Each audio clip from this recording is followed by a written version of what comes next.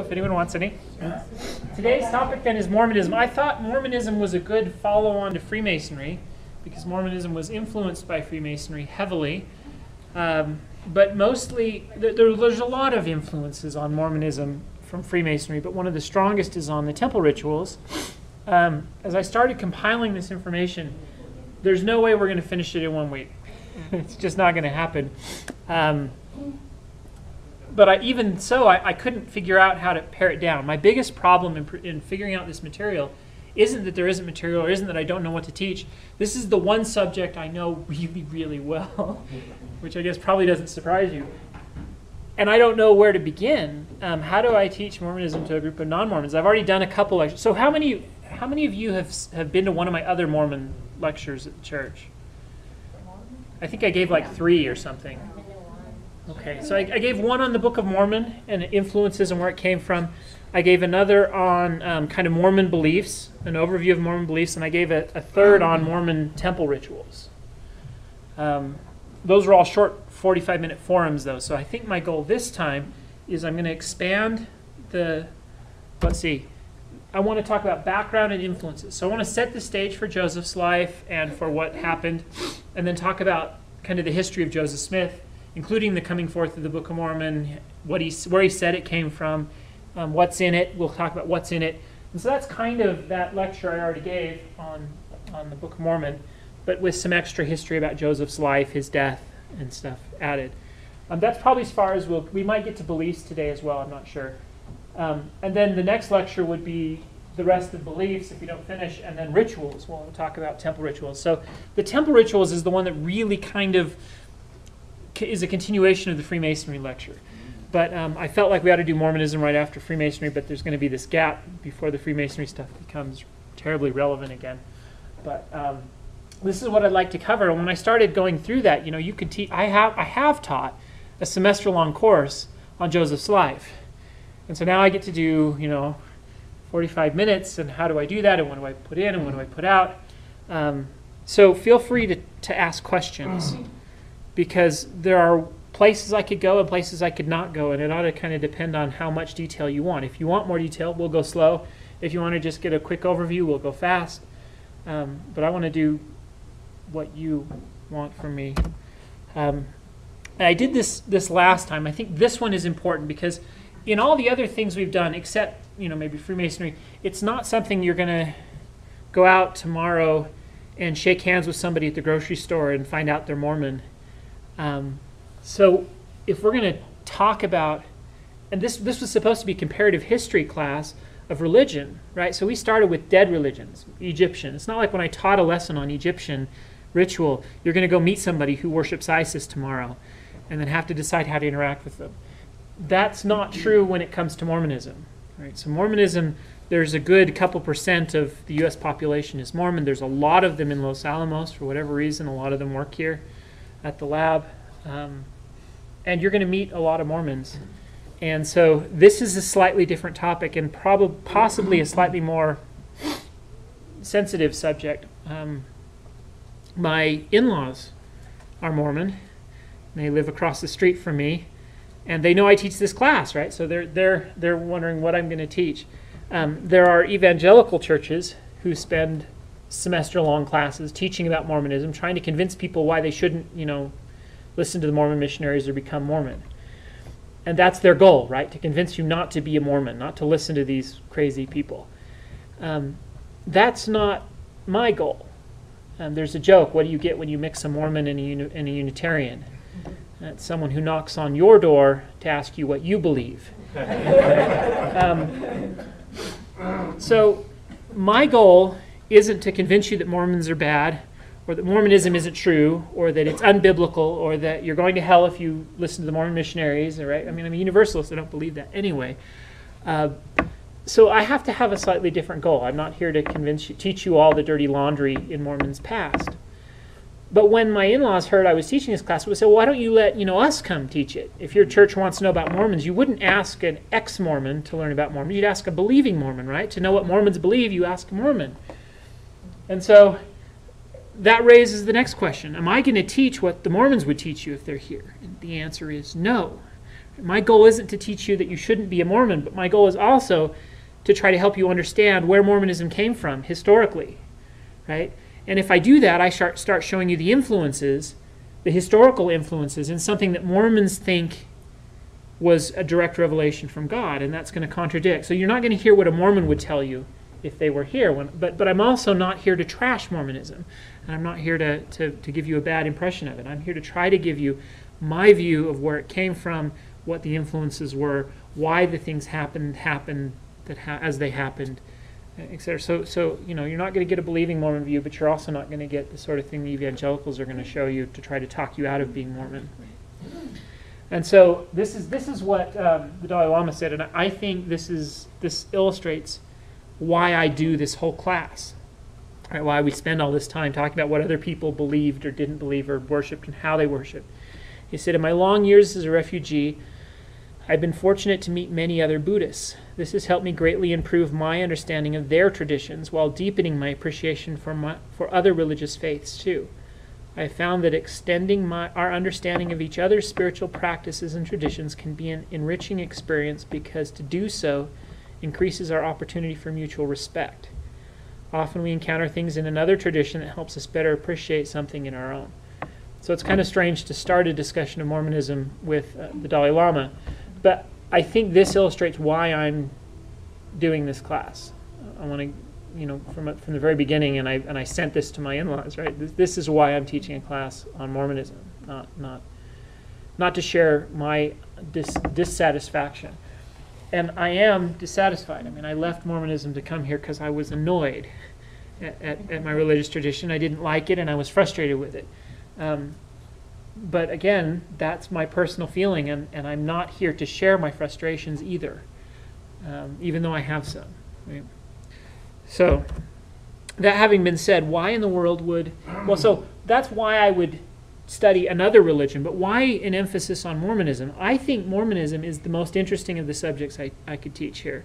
I mean, ancient Egyptian is fascinating because it influenced Greek religion, which influenced Christian religion. It's kind of the oldest religious tradition we have written records of. It influenced the biblical tradition, the Old Testament biblical tradition. And so that's fascinating, right? It's, it's the very heart and origin of, of religious thought. The oldest written corpus of religious texts is from ancient Egypt, the pyramid texts. You can actually read, you know, kind of someone else's Bible from 3000 BC, and that's really impressive. But Mormonism is, is more interesting in its own way.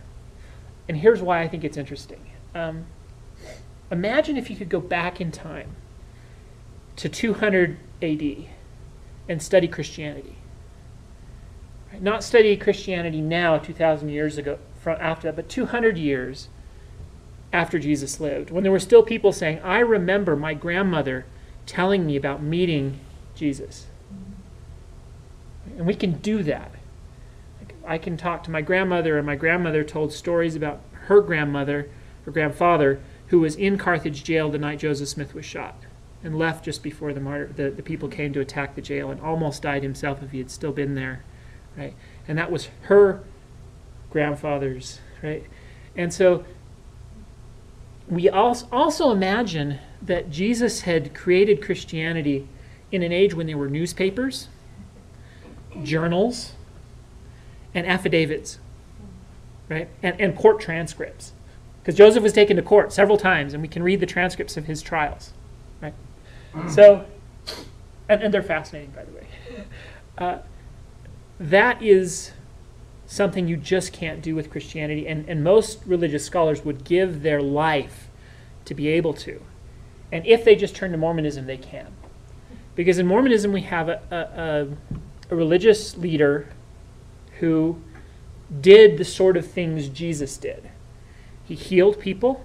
We have accounts where he walked into a meeting and there was a preacher at the front who was saying things like, "Who could who could ever, you know, is the power of God on the earth today? Here's a woman with a withered arm. Could anyone possibly, you know, heal her like they did in the days of Jesus?" Well, no, those things are long past. It'll never happen again. And Joseph Smith was sitting in the back of the congregation, got up, walked to the front, laid his hands on the woman's head, and commanded her to be whole, and walked away. And she got up, and her hand was, according to the story, better. Right? This is the sort of thing Jesus claimed to do. And here's somebody who's doing it in a day when people went home and wrote about it in their journals, and then it showed up in the newspaper the next day. Right? Um, he also produced scripture. Right? So here's somebody who comes along like Moses or, or like Isaiah. Isaiah is probably a better example. and writes something, and people figure it's, it's scripture. Now, some, that hasn't happened quite this way since Muhammad wrote the Quran or, or dictated the Quran or whatever the heck he did. And so imagine if you could go to 200 you know, years after the, the founding of Islam and look at the original manuscripts of the Quran. Well, we have the original manuscripts of the Book of Mormon. You can look at them as the scribes wrote them down, as Joseph dictated them. And you can look at the changes as he went back and fixed grammar and punctuation. And, and we've got the, the original edition. I've got a copy here. Of, this is a, just a facsimile copy. So somebody's reprinted it, put the same old binding on it that they had, and inside is just a photocopies, essentially, of the first edition of the Book of Mormon, published in 1830 by E.B. Grandin. And it's different than this edition that the Mormon missionaries will pass out. This one has no verses. This is divided into verses and chapters. Um, there are errors in this one that have been corrected. Some of the corrections go back to the original manuscript, right? There was an error in the printing, and they go back to the right thing. A few of them, though, don't. They deviate from the original manuscript. Some of them under Joseph's direction as he kind of corrected his own mistakes. But of course, he was dictating. So, is it, you know, again, this is the sort of thing that that argue, gets argued about. Does that mean he wasn't a prophet because he changed it, or was he dictating and his scribes got it wrong and he's fixing it, or, or you know, how does inspiration work? If you want to understand how inspiration worked for Muhammad, it would be nice to know: Did Muhammad think that he could improve upon his wording?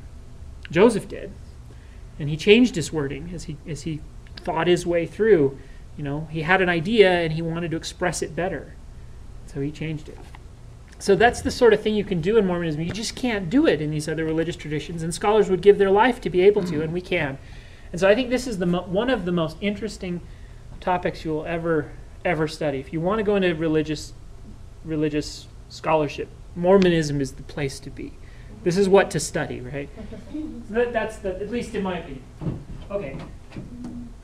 So that's that's why this is interesting. So so how I'm going to do it, and now why it's interesting, and now let's let's do it. So what was the environment in which Joseph grew? So, obviously, as, as someone who doesn't believe Joseph was really a prophet of God, um, I think he was inspired by his environment.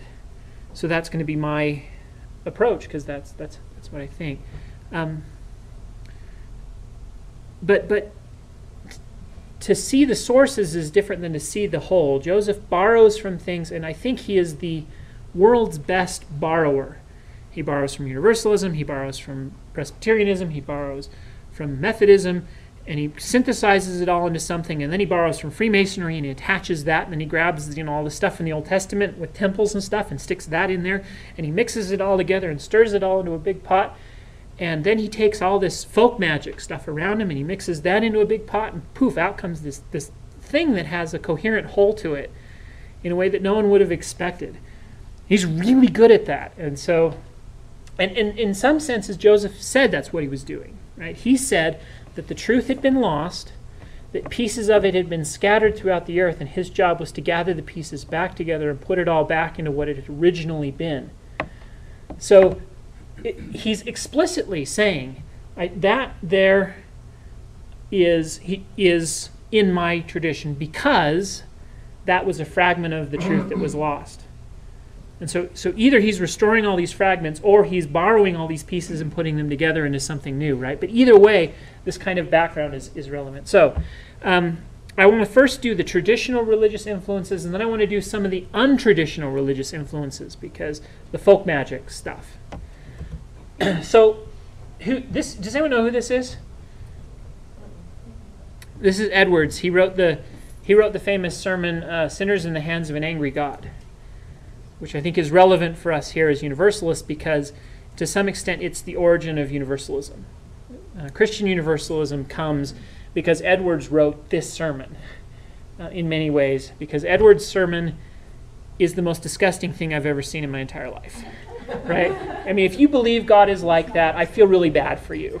Right? This is a God who this is the Presbyterian view, right? This is the predestination view. This is the God who hmm. creates you know, 99% of the world so they can roast in hell and the angels see them all roasting as their flesh is flayed from the bones, and, and the angels see it and they think how and they, they fall down at their feet and worship God because this is the most amazing, beautiful thing they've ever seen. Look at the glory of the justice of God as he punishes these evil sinners. Right?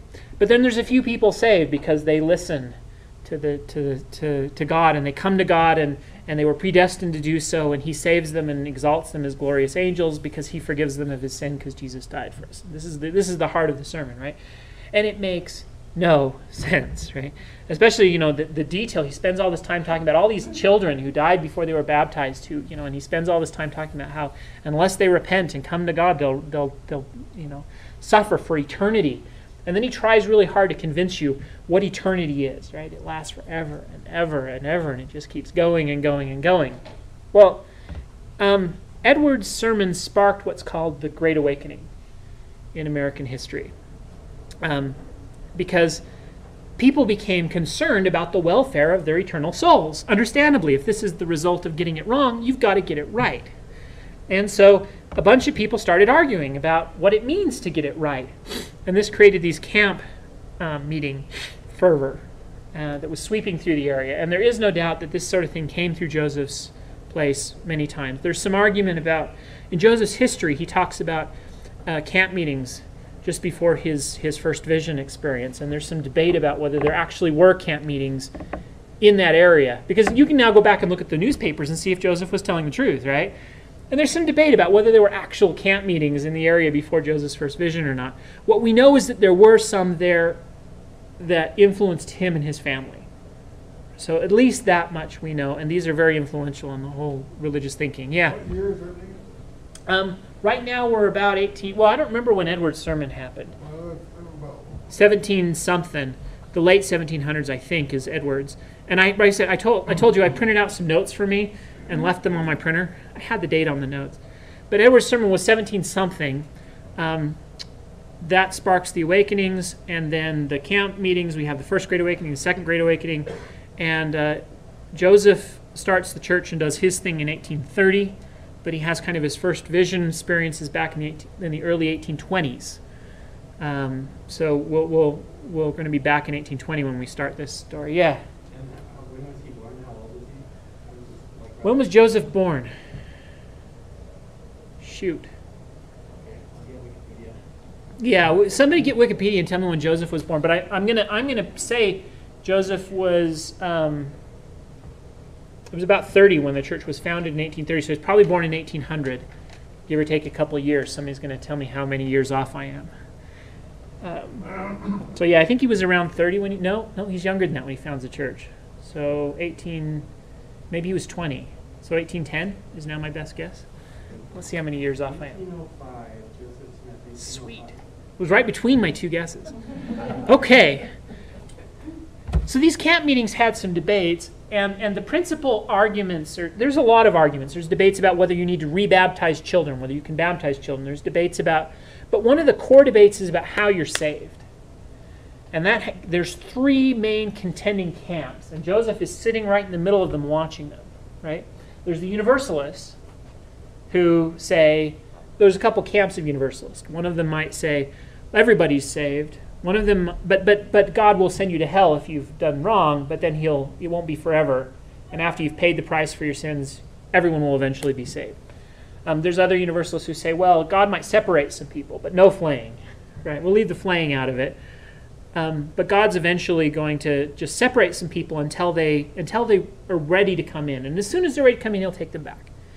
And then there's some that just say God just saves everybody, and there's no such thing as punishment, no such thing as right. So there's lots of variations of universalists. Um, but then we have the Methodists, and there's a specific brand of Methodists who are active in Joseph's area, the Free Will Methodists, and they say God sends some people to hell, He sends some people to heaven, and the difference is about your choice. We are all free, and if we choose God somehow, somehow we choose, somehow we don't. If we choose God, we're saved. If we don't choose God, we're damned. On the other hand, is, is the Calvinists, the Presbyterians being the example. And but if you go to these churches today, they don't debate these subjects. For some reason, they all just get along. But back then, they were really at each other's throat because they thought if you got this wrong, you burned. Not only did you have to accept Jesus, you had to get your salvation theory right. So this mattered to these people, these questions back then, and for some reason they don't today. But the Presbyterians were the Calvinists; they're kind of the evangelicals of the modern world. But from their view, God is so, so sovereign that He chooses everything, including and and and by the way, you're so lowly and, and lost that you can't choose to follow God. No one could choose to follow God without God's grace acting on us. So God's grace comes down and, and, and acts on a few people so they choose God. Without God, they would, they would be forever lost. But God touches a few people, and those people choose God. But they didn't choose God because they were they chose it. They chose God because God chose them. Right. And then, then their good works are, are just a sign of their chosen status. And those people are saved and everyone else burns. You know, the, the problem with this is, and this is Edward's view, the problem with it, of course, is that it, it makes God this person who, who enjoys re- creating people, creating them bad, letting them be bad because he created them bad and because he didn't choose to save them, and then roasting them forever. Right? This is this is what we what the universalists, the early universalists called a slander against the good name of God. Right? And Joseph is watching this stuff. And this is uh, Hosea Ballou. He's uh, a Vermont Universalist preacher who, who really kind of starts Universalism in Vermont. No, it doesn't start it, but he, he's, he's kind of the leader of the Universalist movement in Vermont. And I had a whole bunch of quotes from him in my notes that I was going to read that I've left home. Um, mean, think of what the most important thing to say. He's one of the first Unitarian Universalists as well. He's not just a Universalist, he's kind of a Unitarian Universalist. And, and I guess the reason he's interesting for our story is he's the leader of Universalism in Vermont, and Joseph Smith Sr. and his father are from Vermont. And so the, the Smiths are Universalists. Um, this, this is Asael Smith. This is Joseph Smith Jr.'s grandfather. So, so we got too many people here. I guess I need to tell you who they are. Now, Asael Smith is the grandfather. Joseph Smith Sr. is his father, and Joseph Smith Jr. is the prophet dude that the Mormons talk about. So this is his grandfather. Although Asa believed in a personal God and Savior, he came to oppose the established churches. So he's a dis, kind of a disestablishmentarianism dude, right? Uh, he served as a moderator of a meeting that established one of the early Universalist societies in Vermont, 1797. So this puts him there about what Hosea Ballou is going to be wandering through. Um, he also subscribed to the Universalist doctrine that the atonement of Christ was sufficient to redeem all men. Despite the, this departure from traditional New England orthodoxy, his writings showed him to be a man of warm Christian faith. So this is uh, Asael Smith. Joseph Smith Sr. is also uh, one of those guys who doesn't go to church. Right? He just doesn't go to church because he doesn't like churches and he thinks they're all messed up. But the reason he doesn't go, and he borrows this from Asael, is both of them believe that the true teachings of Christ have been lost. And so, why go to a church that doesn't have the true teachings of Christ? So, when these preachers were coming around trying to convince you, you have to believe this to be saved, you have to believe this to be saved, Joseph Smith, Asael, and Joseph would say, No, you don't. God can save everybody, he's a universalist. And the true teachings of Christ are lost, but that's okay. God is going to forgive us for not having the true teachings, but we should be out looking for them. So both Joseph Sr. and Asael were out looking for this kind of restoration of the truth. Now, this comes back to the Freemasonry discussion, right? Do you remember the lost word of Masonry? So when I taught my le- the class on Masonry last month, there was this whole story of the lost word that a substitute was put in its place. So for these people, the current Christianity that was a metaphor, and the current version of Christianity was the substitute. But the truth was lost, and we were waiting for it to be refound or restored.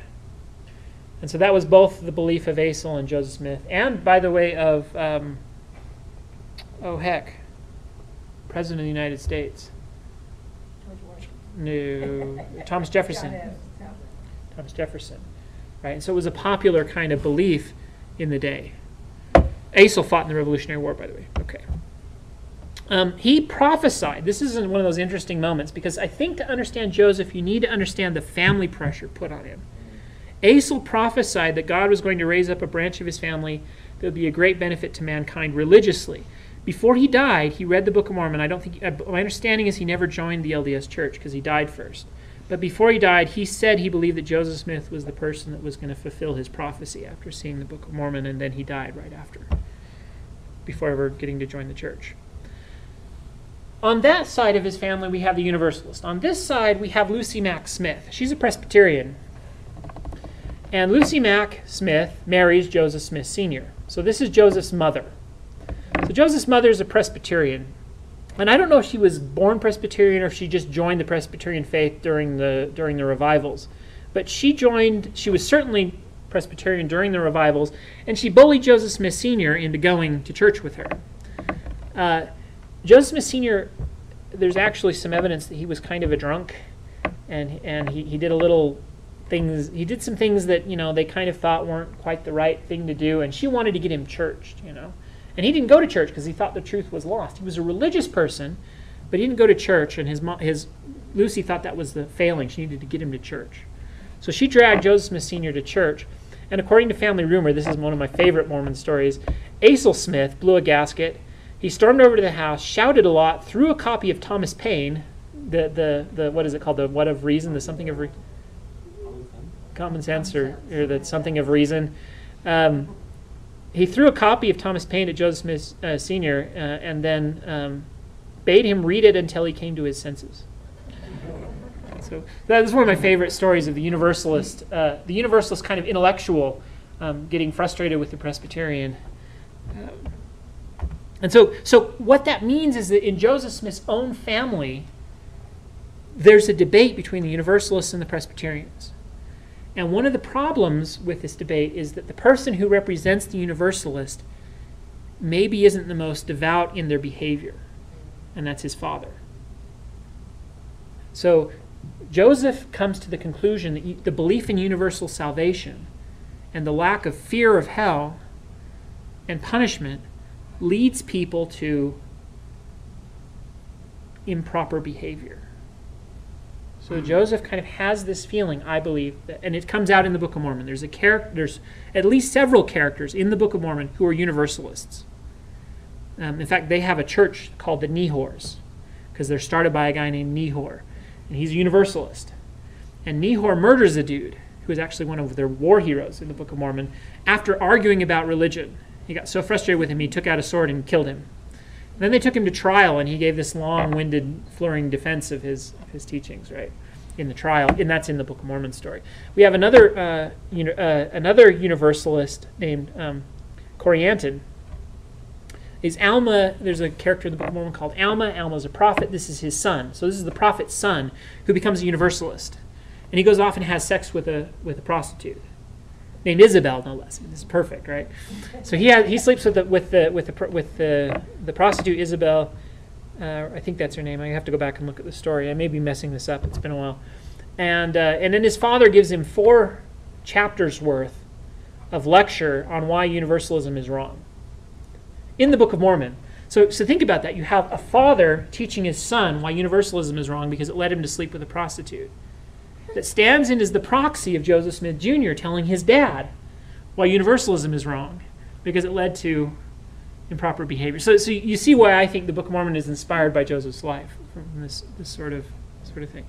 But imagine Joseph caught between these warring camps of the Presbyterians and the Universalists in his own home and while he's doing this, he's going to camp meetings, according to his own story. He's going to camp meetings where they're having revivals. And he, he kind of digs the Methodists, right? Because the Methodists have this whole idea of free will, right? You, you, you, you choose. God's out there wanting to save you all, but some of us choose to go the other way, and he has to let us. And Joseph, Joseph loves the doctrine of free agency.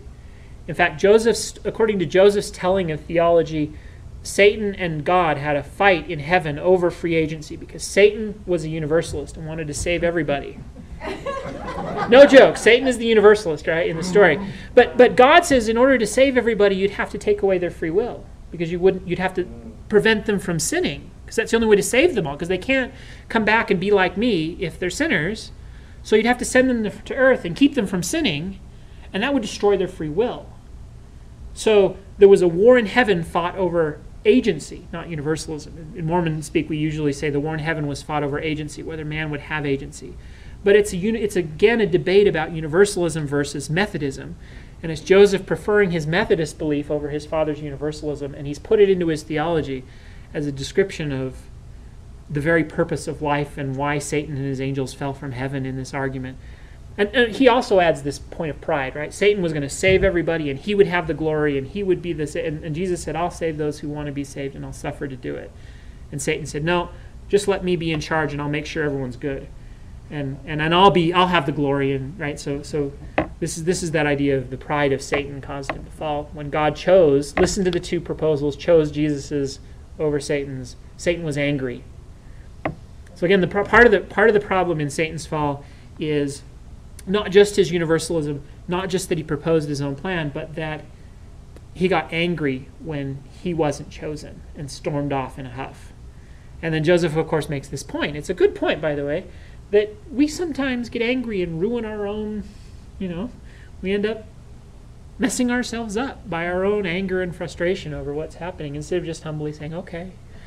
How many people, by the way, in the universal, you all know somebody like this. They got angry at the pastor and they quit coming. Right? this this is Satan, right? He gets angry at the pastor and quits coming, um, and, and, and you know to his own in Satan's case to his own detriment. In someone else's case, maybe they find a better pastor. You know, but but again, this this creates the fodder for all sorts of wonderful sermons in Mormonism. You can imagine, right? Okay, so Joseph goes to the camp meetings and he prefers Methodism. Um, now let's talk though about the folk traditions. I mean, those are the traditional religious influences on Joseph, and even in a Mormon kind of congregation, they'll tell you about those. These are the ones they don't like to talk about so much because they're not quite as faith promoting, you know, from, from the Mormon perspective. So, you know, the Mormon story is Joseph was faced with these influences. He goes to God and finds out which one is right. And, and, and, and it's none of them, by the way. It's not quite Methodism. Joseph, when I'll get to his theology, he, he mixes Methodism with Universalism. Right? So you got free will deciding whether you're saved now, you know, but everyone's sort of saved and just about where you where you which kingdom of glory you go to. And God does punish people because he has to do justice and mercy, but but the punishment isn't forever. Right? So, so Joseph mixes Methodism and, and Universalism together into his own kind of brand of, of Mormonism. And it evolves, by the way. The, the, the Book of Mormon is very free will Methodist, and Joseph's revelations later are very Universalist, and so his thinking kind of evolves. But he mixes the two together. You'll hear that story, but they'll, it'll be told as revelation where God, Joseph, God helps Joseph answer the questions of his day. These influences they leave out, usually, um, because they're not quite as inspiring, I guess. Um, and and again, this these when I when I share these, these are when the Mormons start saying, well, you know, you're you're you're an anti-Mormon. Um, they will often accuse um, people who spread these sorts of stories about Joseph as liars.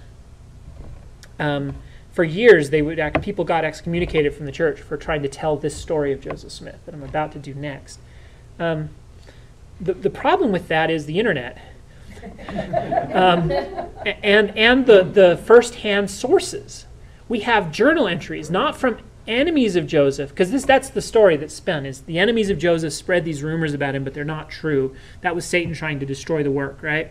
The problem is we have journal entries from Joseph's family, friends, and people who were on Joseph's side who tell this version of the story. So at some point, you just have to sit down and say, okay, this is the reality. And um, this is an interesting time to be alive and looking at Mormonism, at, at modern Mormonism, because um, Mormonism split into two groups. One group admitted this stuff right away. The other group denied it for years and has just recently published a bunch of essays on their webpage over the last three, four years, admitting all this stuff and then putting a spin on it. Right? But they're finally buckled down. They, and, and most of us think it's not because they're transparent from the beginning, but because they had to.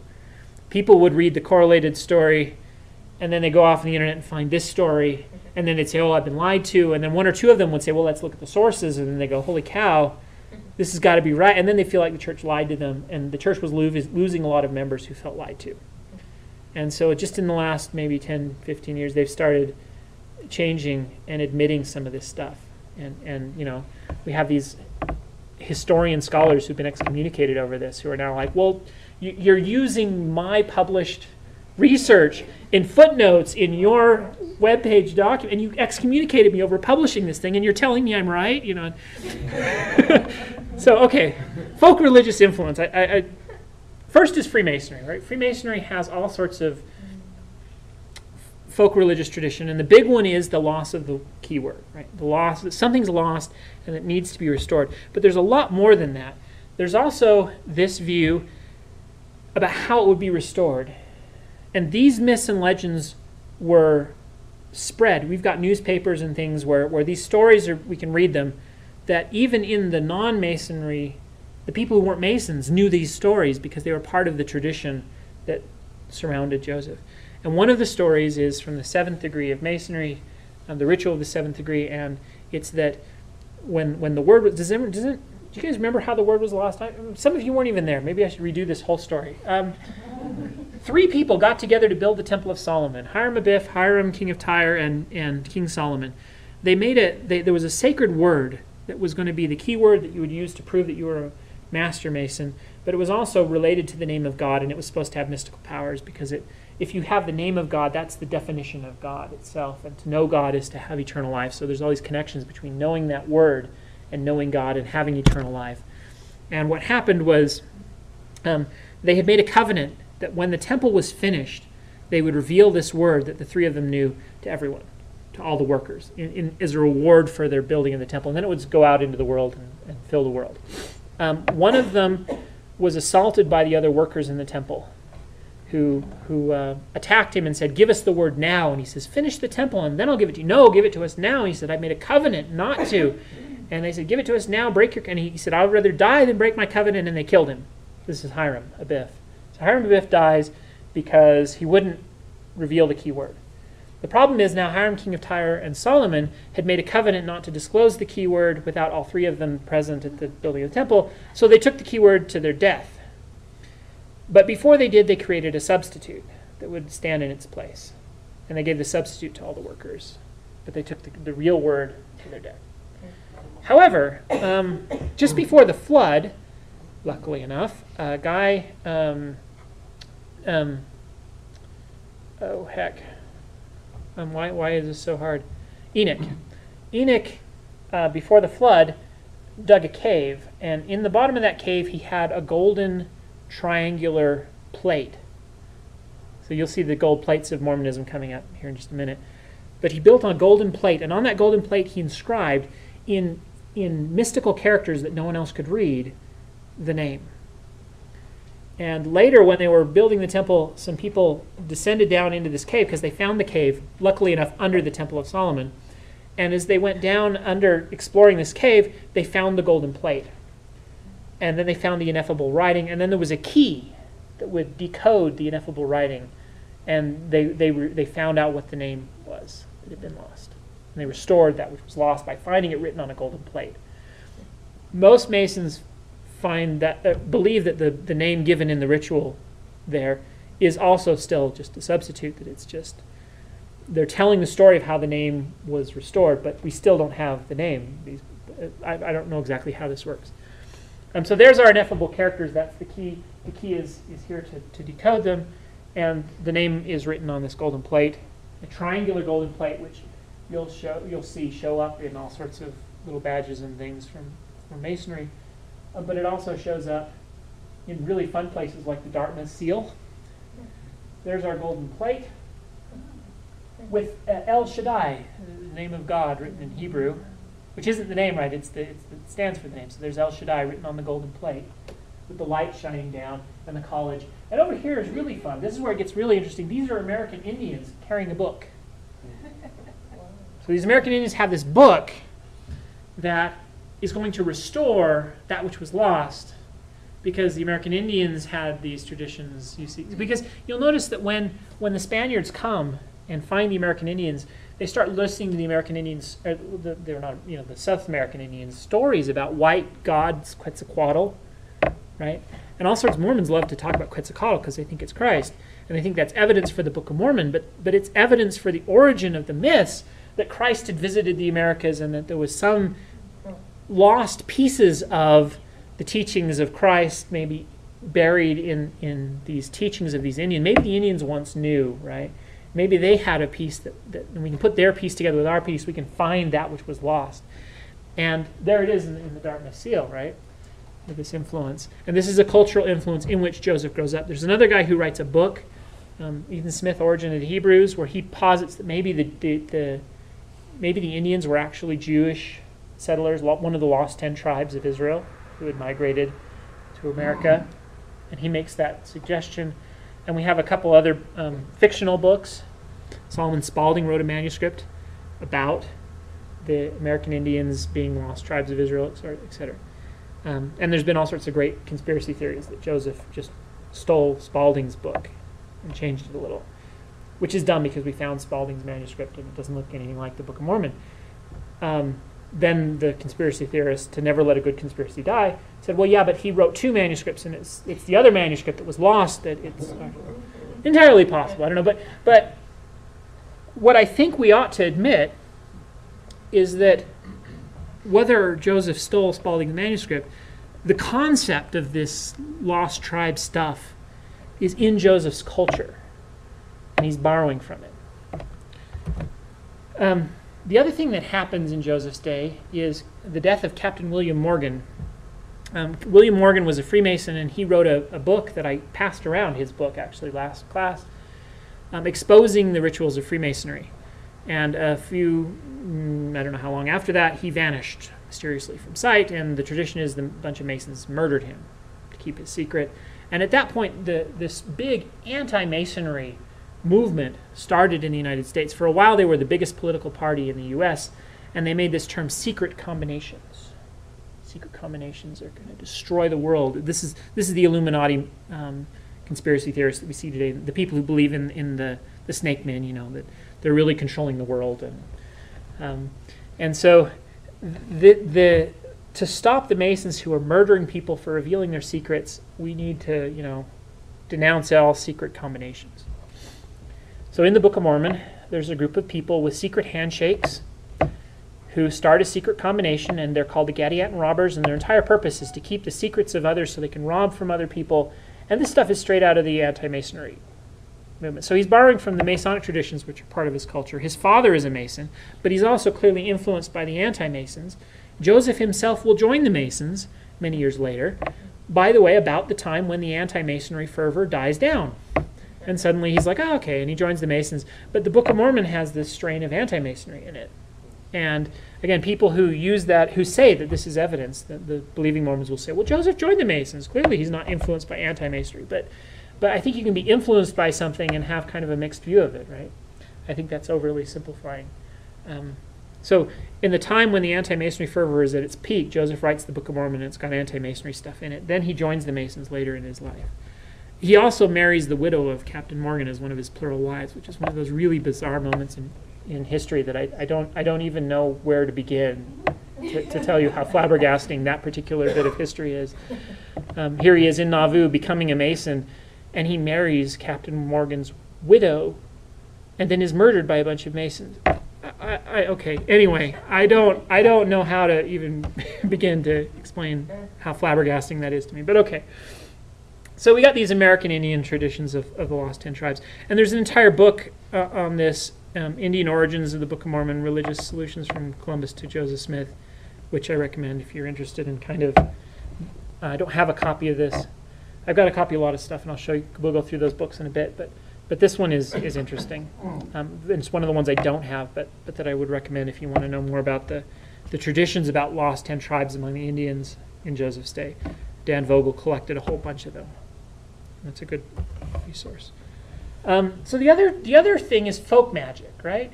So Joseph is Freemasonry is connected to occult. What we you know there's a negative impression of the occult, but the occult is if you look at what the occult is, the occult is a bunch of collections of religious folk magic stuff, right? And a lot of it is based in alchemy and alchemy was this whole idea of transmuting your heart into gold and, and, and that was a spiritual journey that would change yourself more than the gold you would find to create the philosopher's stone um, and so folk magic and the occult are, are mixed in joseph's culture and the difference between cult and religion is you believe it or you don't or you think it or your friends believe it or you don't right so so folk tradition has this negative connotation to it that I think is, is slightly um, misplaced. But a caulbearer is someone who is born with the placenta still covering their face. That's called a caulbearer. And the folk tradition is someone who is a caul bearer will have the third eye or the third sight. They can see things other people can't. Well, Joseph Smith Sr. told neighbors that Joseph was, Jr., the guy who becomes the prophet, was born with a veil over his face. So he wanted to in, procure a stone for him that would let him see all over the world. So the, stone thing is, is the equivalent of the crystal ball tradition that, that shows up in you know, gypsy traditions and that sort of thing. This is crystal gazing. This is stone gazing. This is seeing afar off with, with your third eye sort of uh, tradition. And the tradition was if you're born with the placenta over your face, you have this third sight. Now remember, now let's think about Joseph Sr. for just a minute. Here's a guy who's a universalist, who is a practitioner of folk magic, who doesn't like organized religion, but will go out with his friends treasure seeking with, with his folk magic friends. And he has a son with a caul born over his face, and he has a, a father who had prophesied that one of his children would change the world's religious face forever. And he's like, aha, Joseph. So I think it's hard to overemphasize the pressure that was almost certainly put on Joseph Smith to be the person his father thought he was a seer. And so to become a seer, well, so, so what did Joseph Smith Sr. do with the seers? Well, this is part of the folk magic stuff. Um, they went money digging or treasure seeking, and there may be a distinction between the two that Joseph makes. Um, to seek treasures could be to seek spiritual treasures, meaning seeking that which is lost, trying to restore everything that was missing. Um, but you could also seek money that had been buried in the ground, right? And, and the two are sometimes connected, and the traditions for how you do this are the same. So, again, part of this Indian tradition, there's all these treasures buried all over, and there's Spanish gold mines, and there's Indians who buried treasures, and there's El Dorado and the city of gold, right? And you want to find all these lost treasures. In fact, the Book of Mormon will describe the Indians burying their treasures in the ground and then not being able to find them again because of their wickedness, because they're cursed. And part of that being able to find them again is they're guarded by guardian spirits, according to this folk tradition. So they're guarded by guardian spirits. And what you do is you you take your crystal ball, your seer stone, and you gaze into it, and you see a vision of where the treasure is. Now, Joseph's descriptions of this are fascinating. He talks about, he has all sorts of excuses for why he can't find the treasures he sees. The first is, it's like looking into a glass, right? You know how glass ref- refracts the angle, so he can't tell quite where it is. But the other is, these treasures are guarded by these, it's a spiritual quest, not, a, not necessarily a monetary quest. It's a spiritual quest, and these treasures are guarded by spirits, guardian angels. And if you don't appease the spirit, when you dig the hole, the treasure will actually slip through the earth and disappear. And one of his friends, Orrin Porter Rockwell, hmm. describes going on a treasure seeking expedition with Joseph. Now, Porter Rockwell is not an anti Mormon trying to lie to, to defame Joseph. Porter Rockwell is Joseph's bodyguard. He's the guy that almost certainly shot Lilburn W. Boggs, governor of Missouri, after Missouri governor chased the Mormons out of Missouri. He went back and tried to assassinate him, almost certainly. And he was the guy that Joseph prophesied that as long as he never cut his hair, he would never die by an assassin's bullet. So he had this long hair, and he was a gunslinger in the in the old West. Once he goes to Utah, he's one of these fun gunslingers who who killed maybe 20, 30 people at some point. And there were other people who would try to kill him just to prove Joseph a liar, and they would always lose. Whenever they he had a gunfight, he would win because that was the prophecy of Joseph, and he never cut his hair. and then apparently he cut his hair once to make a wig for, for Joseph's was it Joseph's mother or some one of Joseph's family, and he made the comment at the time, "I would rather die in fulfillment of Joseph's prophecy than than than see one of Joseph's. This is how much I love Joseph's family." So he cut his hair, and he never did die by an assassin. But even when he cut his hair once, he didn't. Anyway, Orrin Porter Rockwell, colorful, colorful Mormon character, gunslinger, Wild West dude. Um, you know, guarded, guarded, guarded money treasures, as the you know co- stage coaches went back and forth and shot bandits and really fun stuff. When he he grew up with Joseph, and he went treasure seeking with Joseph, and he tells the story about seeing the chest there one minute and then slip through the earth the next, and he tried to catch it with his pitch and and broke off a little sliver, and he kept it as a memento for the rest of his life. So the, the, my point is, these stories aren't coming from anti-Mormons. They're coming from people who believe Joseph, and they said this is what Joseph grew up doing. And the reason Joseph grew up doing it was because his dad did it. And the reason his dad did it was because he was part of this folk magic tradition. And so the most recent biography of Joseph Smith, probably the best, um, is by this guy, Richard Bushman. So if you're looking for a good biography of Joseph Smith, this is by far the best that's ever been written. It's by Richard Bushman, and he is a Oxford-trained historian. Oxford or I can't remember. Um, anyway, he's got one of these Ivy League historian degrees, and he's a Mormon. He's a believing Mormon. It's still the best biography of Joseph Smith, right? And he gets to this treasure-seeking stuff, and he says, "This was Joseph's culture. Of course, he grew up doing this stuff." And he lays it all out, admits it, and then says, "But it doesn't mean anything. This is this is just Joseph's culture." It might have been, you know, a training ground for his spiritual spiritual feelings, but but so so the point is here we have a really good biography. If you want the details of, of what Joseph grew up doing and, and his life, this is where to go to get it. Even though he's a believer, he will he will sort of leave his believing hat at the door when he writes his history. He says, I'm just going to tell you the history, and then he, he will every once in a while spin it a little bit. But he tells you when he's doing that. And so it's, it's worth reading. If you really want to learn Joseph's, his, Joseph's life, this is the book to go pick up. If you want to really learn his life, right? If you want to learn the, the kind of church whitewashed version, this is the book to pick up, right? right. So this is this is the, the, the book that goes with the class they teach on on church history, right? Not a single mention of treasure seeking, except for one. In Joseph Smith's official history, he says that a guy named Josiah Stowell wanted to find a, Span- a, a rumored buried Spanish mine, and he hired Joseph to help him find the mine. Joseph agreed and eventually talked him out of it, said it was a bad idea, you should quit, and talked him out of it.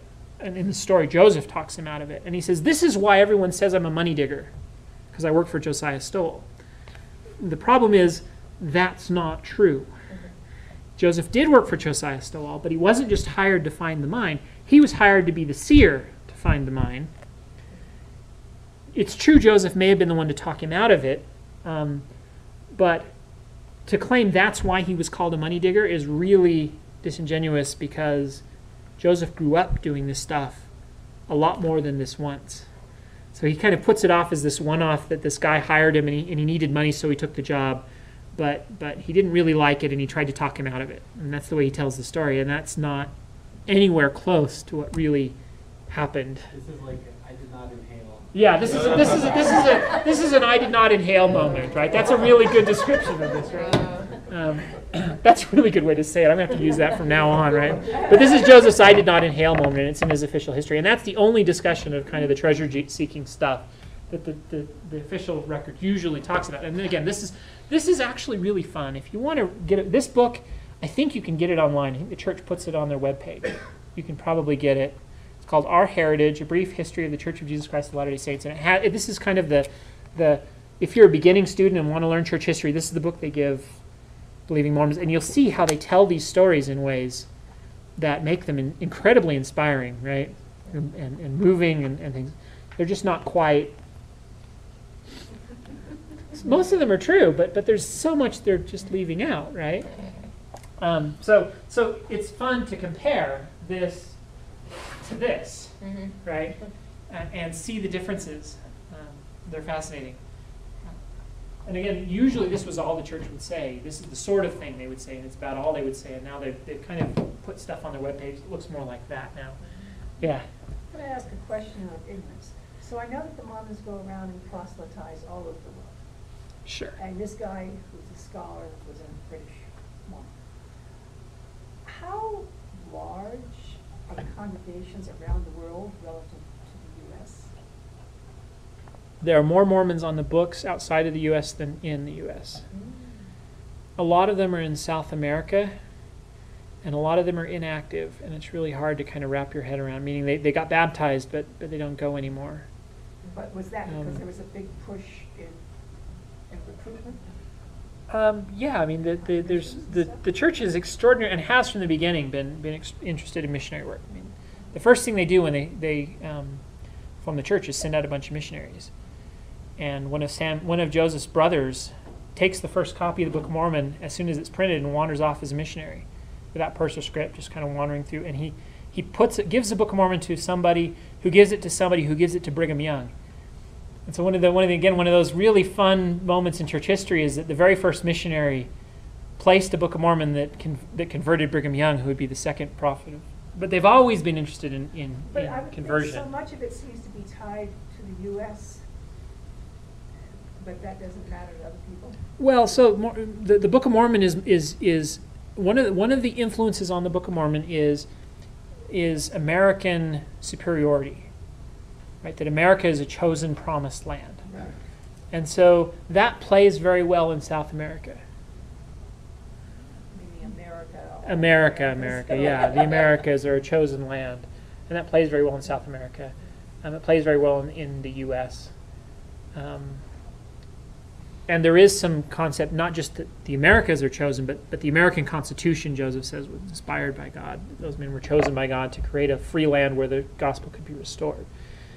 Um, so there is almost some U.S. American superiority in there too. Uh, but you know, you can you can recast Mormonism in a way that, that that's not its central point, and other people can can accept it. Uh, It, it plays well in Africa. If you ever go see the Book of Mormon musical, I saw that. you saw that. All right. So we got more. We They got seem to have been transformed a little bit. Yeah, we- we've got- Well, now. We've got missionaries in Africa, uh, India, um, but our biggest Mormon conversion rates are biggest in South America, in the U.S. But there's some big ones in Africa too. Um, they're kind of the race issue is, is a big deterrent, I think.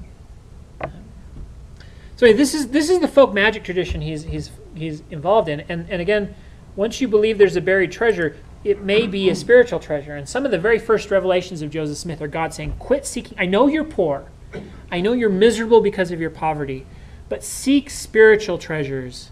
Don't seek physical treasures."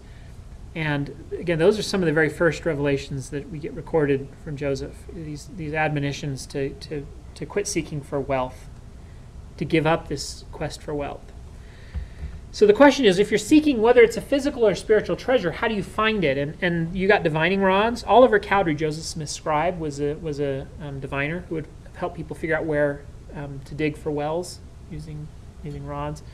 And uh, again, one of the revelations first given. This is this is what I say about first editions of Revelations, right? One of the first one of the first revelations Joseph has is to Oliver, who is his scribe when he does the Book of Mormon, where he says, "Only the power of God could cause this rod of nature to work in your hand." And he's talking about Oliver's use of divining rods. And the later editions of the same revelation call it, um, "You have the power of the rod of Aaron," with no description of what that is. And so, so that his his his his folk magic participation has been brushed over by changing the wording of the revelation. Um, so again, you can find it with divining rods, but the most the most kind of famous way to do it is with a seer stone. This was a green seer stone that belonged to Joseph Smith. Um, for a time, this was one of the few we had I had pictures of, so I would always show this when I gave this story. I'll tell you a story about this in just a minute. But Joseph used about five or six seer stones during his life to get revelations, to find buried treasures that he never found, but also to get revelations and, and, and this sort of thing. Um, and we have fun stories of Joseph convincing people that he can do this because, you know, one of the times he's treasure seeking, he says it's buried over there by a feather, and they would find the feather but not the treasure because the treasure would slip away. Who knows how he put the feather there? If he, if he did, maybe it was just really there. He would, if somebody else lost a pin and he used his stone to find the pin that was lost. Somebody else lost their cattle and he told them where to go find them. So, and people would swear that Joseph, they knew Joseph could do this because he had done it for them. But this is one of the stones he would use. We know, however, that there was one he liked best. And he found this stone while digging a well for Willard Chase. Now, the story, this is where fun because Willard Chase had a daughter, Sally Chase, and Sally Chase was a seer. She used seer stones. Joseph went to Sally and said, Sally, can I borrow your seer stone? Sally let her borrow it. Joseph used her seer stone, and he saw a vision, according to his story, of a white stone buried in the ground. And he went over and he dug up this white stone and found it right where he had seen it in Sally's stone, and he found this stone, and he used that was his that was one of the first seer stones he used. And remember, Joseph Smith Senior said he was going to find a stone for his son. Well, now Joseph has a stone. He got it from Sally. But now Joseph is digging a well for Sally Chase, for, for, for sorry, Willard Chase, Sally's father. And while he's digging this well, he finds a stone that is interesting looking, and he keeps it. And he starts using it in his treasure seeking. And Willard Chase sues Joseph in court to get the stone back because it was found on his property because he wants to give it to Sally. So we have court records about the suit for the stone Oh to get it back so Sally can have it, right?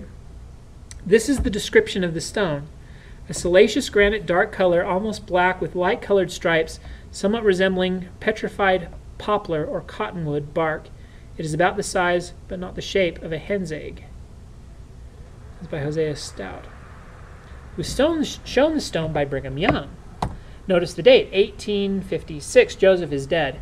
So what happens is after Joseph's death, this stone gets passed down to Brigham Young through his brother Phineas, and J- Brigham kept it in the church archives and put it on the altar at the dedication of one of the Mormon temples. This is the stone Joseph use when, uses when he finds the Book of Mormon and translates it, and the church has it. And it, it was on one of those really fun, you know, kind of rumors that would always float around Mormon circles. Wh- Where's the stone? Where the, do, the, do the prophets today still use the stone? I mean, does it work? And I remember um, Joseph Fielding McConkie, who was the son of Joseph of, of Bruce R. McConkie, who was an apostle of the Mormon Church. So now you get it like fourth hand. This apostle told his son that it's in the archives. I've seen it. I've handled it, and it doesn't work for me. Is, mm-hmm. is, is the way he said it. And then that was told to his son, who told it to me when I was chatting with him at, in my office one day when we were teaching religion at BYU. So he was a religion BYU teacher. I was there. We were chatting about the stone, and he said, "Well, my dad said he saw it, and it doesn't work for him, whatever that means, right?" So, so these sorts of fourth-hand rumors would kind of float around Mormon Mormondom, and we know that Brigham Young had it, and we know that he put it on the stone, and we have a description of it from someone who saw it back when Brigham Young showed it to him. And then in the church magazine for October, which is next month, but put online early because it was about to make a stir, is an article by the current church historian with that picture in it. and so, for the first time, Mormons saw in living color, with lots of different close up pictures, Joseph seer stone.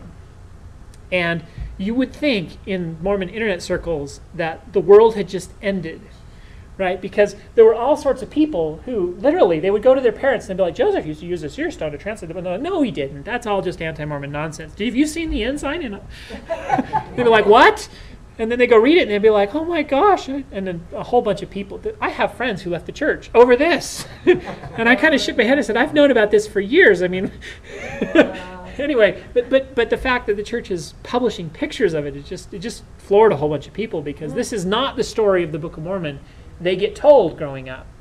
It's there, it's in our history, but most people don't read that stuff, right?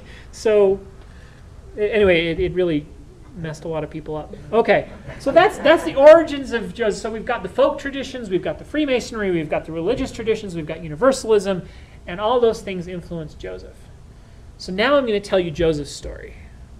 We've already sort of hinted at it, right? But but those are the influences. Now we're going to just start at the beginning and tell you Joseph's life till the moment he dies. And I'm going to try to do that in the next in the next uh, 45 minutes. Let's take about a five minute break though, and have some food. And I need a drink. I'll come back in about five minutes, and I'll try to tell you Joseph's story.